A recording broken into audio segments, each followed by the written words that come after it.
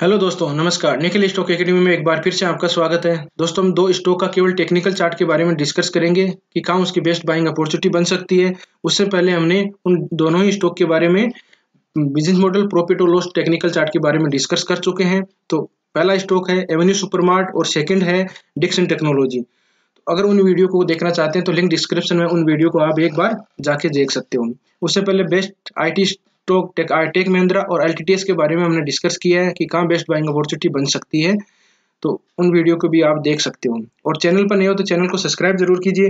Bell icon की all पर ज़रूर क्लिक कीजिए, जिससे कि नए वीडियो आने पर आपके पास नोटिफिकेशन सबसे पहले आए।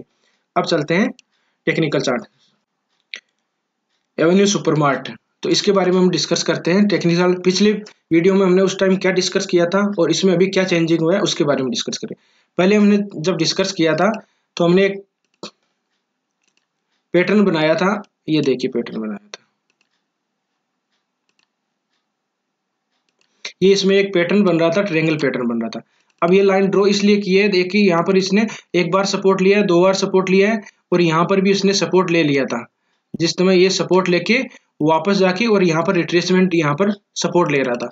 उस समय यहाँ पर हमने पाँच जनवरी के लगभग डिस्कस किया था। तो उस, इसके बाद में उसमें चेंजिंग क्या हुई है कि अभी प्रेजेंट में देखिए तो कंसोलिडेट फ़ेज़ के बाद में यहाँ पर गेप डाउन ओपनिंग हुई है। आज मार्केट में बहुत ही बुलिशनेस है, लेकिन इसमें देखिए यहाँ पर कोई एक ग्रेव स्टोन डोजी बन रही है। एक बात ध्यान रखना, और रिट्रेसमेंट कितनी है? रिट्रेसमेंट जो फिबोनिक रिट्रेसमेंट यूज़ करते हैं अपन, उसका बहुत ही अच्छा रोल है।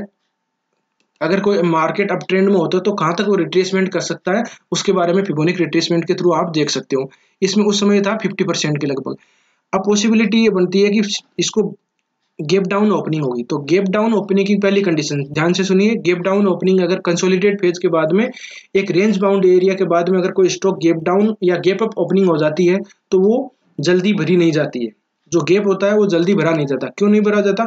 एक दूसरी और उसकी कंडीशन रहती है कि उसमें वॉल्यूम ज़्यादा होना चाहिए। अगर गेप डाउन ओपनिंग या गेप अप ओपनिंग हुई है तो वहाँ वॉल्यूम बहुत ज़्यादा होना चाहिए। उसके बाद अपन देख लेंगे वॉल्यूम इसमें कितना का कंपेरिजन टू बात करें तो इसका पहले का वॉल्यूम देखना पड़ेगा। अगर उसके पहले के वॉल्यूम से अगर ज़्यादा है और गेप डाउन या गेप अप ओपनिंग हुई है तो वो आपको जल्दी गेप भरा नहीं जाएगा। और दूसरे स्टॉक में भी अपन डिस्कस करेंगे कि कैसे स्टॉक में पहले हो चुका है। तो इस स्टॉक से अपन ध्यान रख सकते हैं कि गेप डाउन ओपनिंग हुई है तो यहाँ पर जो 50 परसेंट की रिट्रेसमेंट को इसने गेप डाउन ब्रेकआउट कर ब्रेक डाउन कर दिया है तो 61 परसेंट तक ये पॉसिबिलिटी बन सकती है। इसकी प्राइस अपन मान, माने तो यहाँ पर लगभग आ सकती है 3300 के लगभग 3300 के लगभग ये आ सकता है। ठीक है? अब इसका अगर इसका टाइम फ्रेम अगर मैं छोटा लूँ जैसे टाइम इसमें तो बड़ा है डेली का है अगर यहाँ पर मैं ये देखिए अगर इसमें थोड़ा सी दिख नहीं रहा। है ये साठ मिनट का टाइम फ्रेम है तो इस तरह से आप, इस तरह से भी देख सकते हो। अब दूसरे स्टॉक में इसका वॉल्यूम चेक कर लेते हैं एक बार कि वॉल्यूम इसमें क्या पहले से ज़्यादा है क्या?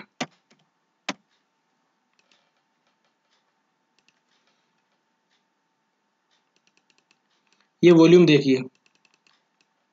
जो यहाँ गेप डाउन ओपनिंग हुई है। वहाँ का वॉल्यूम देख चेक कर लीजिए आप एक बार।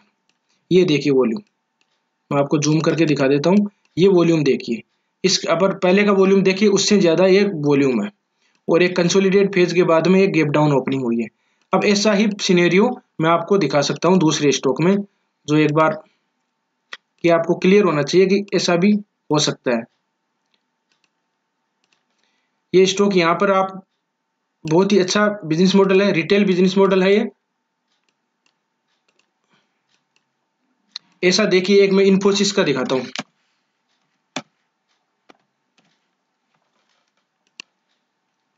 ये इन्फोसिस का है। ये देखिए, एक कंसोलिडेट फ़ेज़ था यहाँ पे। कंसोलिडेट फ़ेज़ के बाद में यहाँ गैप डाउन ओपनिंग हुई थी। कब हुई थी ये? अप्रैल 22 में। अप्रैल 22 के बाद में ये स्टॉक यहाँ ही घूम रहा है, ठीक है? इसमें डब्लू पैटर्न भी बनाया डब्लू पैटर्न बना के बाद में, लेकिन इसको ब्रेकआउट नहीं किया। अभी प्रेजेंट में देखिए तो उस टाइम प्राइस कितनी थी? सेवनटीन हंड्रेड था, ठीक है? और अभी बात करें तो फिफ्टीन हंड्रेड है इसकी। तो अब ये gap down opening volume check कर सकते हो वॉल्यूम ज़्यादा होनी चाहिए, पहले ये देखिए, इस दिन, उस जिस दिन ये गैप डाउन ओपनिंग हुई थी गैप उस दिन ही पहले का कंपैरिजन टू अपन पहले का अगर वॉल्यूम देखें तो उस दिन बहुत ही वॉल्यूम था। ये डब्लू पैटर्न बनना उसके बाद अपन इसमें जब ब्रेकआउट होगा तब अपन डिस्कस करेंगे। तो अपन और दूसरा एक और, और स्टॉक बता देता हूँ मैं। जैसे टाटा इलेक्स ये आपको रियल प्रैक्टिकल नॉलेज मिलेगा कि जिससे कि आप इसको देख सकते हो। यहाँ पर देखिए जो ये कंसोलिडेट फ़ेज़ था अगर मैं इसको टाइम फ्रेम छोटा कर देता हूँ टाइम फ्रेम छोटा कर दूँ ये देखिए। ये देखिए, यहाँ पर एक कंसोलिडेट फ़ेज़ के बाद में गेप डाउन ओपनिंग हुई है। गेप डाउन ओपनिंग होने के बाद में वॉल्यूम देखिए यहाँ पर। उस दिन वॉल्यूम अगर पहले का वॉल्यूम से बहुत ही ज़्यादा वॉल्यूम है, और उसके बाद में जो कंडीशन है स्टॉक की कंडीशन है, अभी क्या प्रेजेंट उस टाइम प्राइस कितनी थी? ये देख ले eighty one eighty one hundred था, और अभी प्रेजेंट में प्राइस देखो तो सिक्सटी टू के लगभग है सिक्स टू फिफ्टी के लगभग है। तो इस तरह, और हमने एक डिस्कस किया था L T T S L T T S के बारे में बिज़नेस मॉडल और प्रॉफिट और लॉस और उसका टेक्निकल चार्ट के थ्रू रीड करने की कोशिश की है। अभी दो तीन दिन पहले की बात है, ये देख लिए। यहाँ इसने, अगर मैं छोटा टाइम फ्रेम देखूँ, ये देखिए। ये कंसोलिडेट फ़ेज़ था दोस्तों। कंसोलिडेट फ़ेज़ के बाद में गेप डाउन ओपनिंग हुई है यहाँ पर। ठीक है? गेप डाउन ओपनिंग होने के बाद कंडीशन वॉल्यूम वॉल्यूम देखिए, पहले वाले यहाँ पर वॉल्यूम से बहुत ही ज़्यादा वॉल्यूम है। और उसके बाद में प्रजेंट में देख लीजिए, ये कितना अभी थर्टी फाइव के लगभग था और थर्टी फोर आ गया अभी। और, और भी अभी नीचे आने की पूरी पूरी पॉसिबिलिटी हमने पूरा डिटेल से उस वीडियो में डिस्कस किया तो अगर आप वीडियो अगर वो देखना चाहते हो तो लिंक डिस्क्रिप्शन में उन वीडियो को देख सकते हो। तो अपने को क्या ध्यान रखना है? डीमार्ट में हमने डिस्कस कर लिया जो गेप डाउन ओवरिंग अगर सिक्सटी वन परसेंट के रिट्रेसमेंट के लगभग आए तब अपने को बाय करना है। पहले उसमें बाय नहीं करना है। अब बात करते हैं डिक्सन टेक्नोलॉजी डिक्सन टेक्नोलॉजी के बारे में भी हमने डिस्कस किया था। और क्या डिस्कस किया था, उसके बारे में देख लेते जैसे फिबोनिक रिट्रेसमेंट होता है, उसका क्या यूज़ होता है तो आप उसको एक बार पढ़ लीजिए वीडियो देख लीजिए, जिससे कि आपको क्लियर हो जाएगा, क्योंकि बाद में डिस्कस करते हैं तो कंफ्यूज रहता है।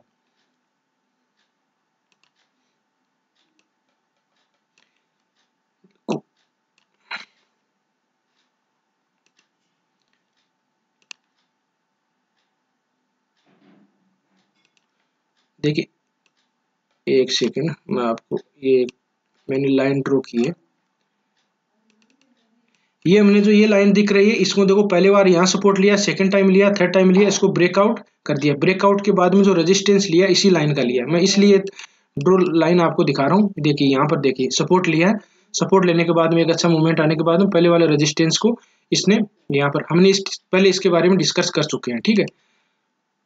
अब जो यहाँ पर उसने सपोर्ट लिया है ये पे एक टाइम फ़र्स्ट पर सपोर्ट लिया सेकंड टाइम और थर्ड टाइम लेने के बाद हमने डिस्कस किया था कि इसमें अच्छा मूवमेंट आएगा तो इस ऊपर वाली लाइन को ट्रेड लाइन को ब्रेकआउट करने के बाद में यह डाउन में आएगा तो इसमें डाउन में ब्रेक डाउन करने के बाद में एक फॉल आ सकता है।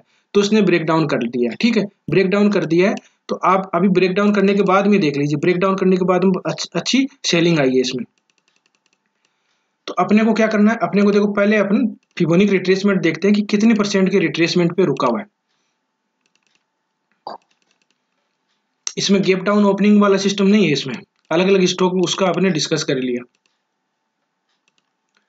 ये देखिए फ़र्स्ट टाइम इसने 31 38 परसेंट पर सपोर्ट लिया था। सेकंड टाइम लिया तो 50 परसेंट के लगभग सपोर्ट लिया, ठीक है? और अभी प्रेजेंट टाइम में 50 परसेंट फिफ्टी रिट्रेसमेंट से थोड़ा ऊपर है, ठीक है? मैं आपको अगर लाइन ड्रॉ करना चाहूँ तो आपको मैं लाइन ड्रॉ कर देता हूँ एक बार। ये देखिए, ये इतना ऊपर है तो पॉसिबिलिटी है कि यहाँ पर इसका 33 के लगभग 33 50 के लगभग ये प्राइस आने की संभावना है। अभी अपने को वेट करना है, उस टाइम डिक्सन टेक्नोलॉजी का बिज़नेस मॉडल के बारे में डिस्कस कर रखा प्रॉफिट लॉस के बारे में डिस्कस कर रहा एक कॉन्ट्रैक्ट वेक्स कंपनी है जो इलेक्ट्रॉनिक कंपोनेंट का मैन्युफैक्चरिंग करती है।